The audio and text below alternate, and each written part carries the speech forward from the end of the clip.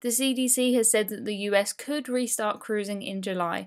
Cruise lines will be able to bypass the test voyages that were previously compulsory as long as 98% of crew and 95% of passengers are vaccinated. MSC Cruises have announced a plan to get all crew on board all of their cruise ships vaccinated. They are prioritising the crew on the 10 cruise ships that they have sailing this summer, and all crew members working on the cruise ship during the UK summer season will have been vaccinated. The MSC Seaside has set sail in the Mediterranean where she met the Costa Smeralda, who has also restarted sailings. Costa are planning on adding another three cruise ships to sailings this summer. Photos have been released of the Disney Wish, which starts sailing in 2022. She will start with three or four night voyages from Nassau, visiting Disney's private island. Gwyneth Paltrow has partnered with Celebrity Cruises to provide Goop at Sea. Norwegian Cruise Line are adding an additional two cruise ships to their European restart. The Norwegian Epic and Norwegian Getaway will set sail in September.